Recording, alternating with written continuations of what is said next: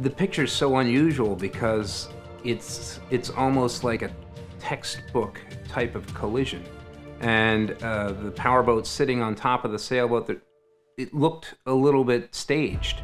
Once we saw the photo, the first thing is we wanted to learn exactly what happened. Um, and then we shared it uh, with our readers on our social media, and it quickly became the most viewed thing that we posted that year. So when the accident happened, I was actually teaching a captain's license course, and I was teaching rules of the road. So I saw the picture at the end of the day when I uh, came out of the classroom. And I was really relieved to hear that there were no injuries, and that was just really lucky. So we went out on the water and went about trying to recreate this accident.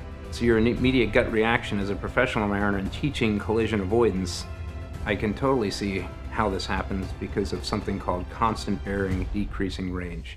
We started to kind of plot it out where we put in the, the uh, latitude longitudes into our chart plotters. We started to get it on the maneuvering board. We kind of broke down uh, what happened and you can use anything on the boat, a stanchion, you know, something on the boat that's fixed and line it up on that on a vessel you're not sure about.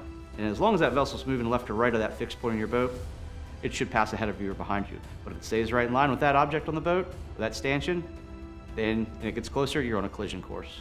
We could see how this happened very clearly. So from the powerboat operator's perspective, what he would have seen was a sailboat off of uh, his port bow. He would have seen a sailboat there, and probably from when it was way off in the distance.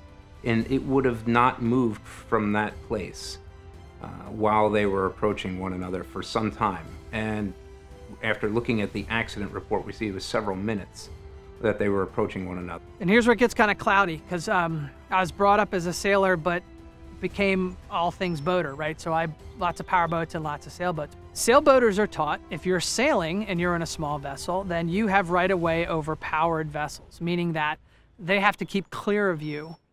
As long as you don't turn into them, uh, they have to keep clear of you. Um, except you have to uh, do what you can to avoid a collision. So it doesn't make any difference if you're sailing.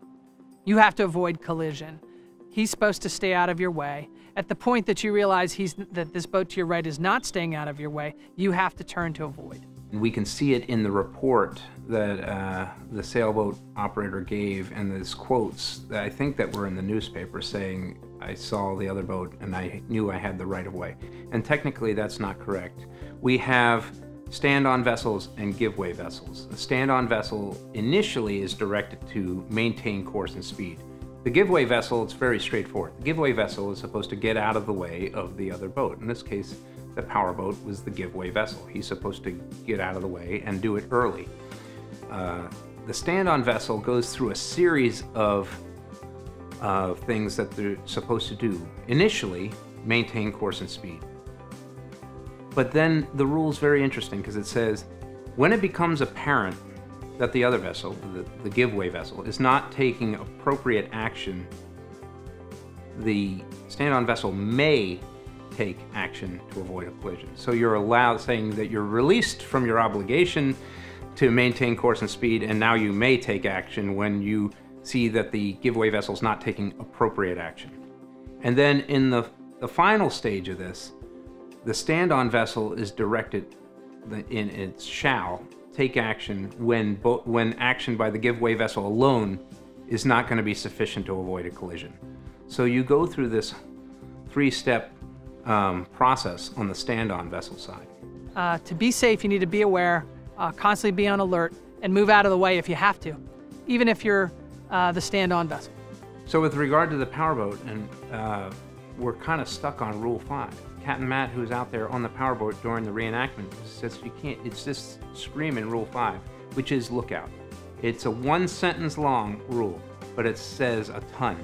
It says we're supposed to look out by sight and hearing and all available means at all times. You want to be very vigilant, and but you've got to avoid complacency, and you really want to be on the edge of your seat all the time out there, making sure that you see everything that's around you, making sure you're maintaining what we call situational awareness.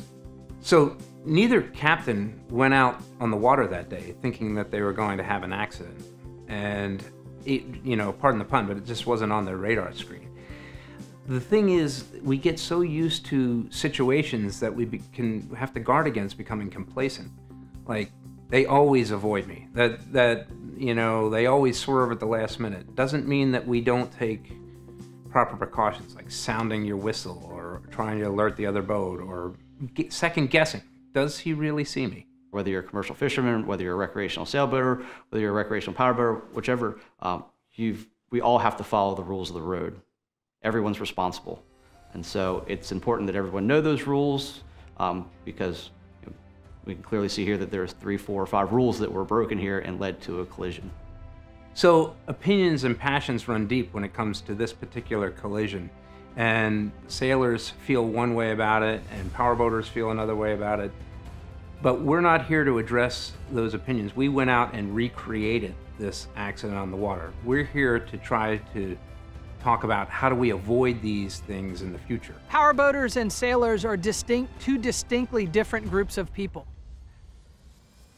They're different in almost every way. However, one of the things they love the most is being out on the water. So just realize that that person in that other boat doesn't think like you do, right or wrong. Uh, they might not be out there doing the same things that you're doing. Um, so just uh, respect them, that they're having fun in the same environment you are, and um, make sure you're constantly being alert to what's going on, to every situation, and how you're going to get out of it. So both boats could have taken actions to avoid this collision. In the case of the powerboat, it seems that he did not see the sailboat. When it comes to the sailboat, uh, he sees the powerboat coming, but gets stuck on maintaining course and speed and doesn't progress through the obligations of the stand-on vessel as he is required, eventually required to take action to avoid a collision.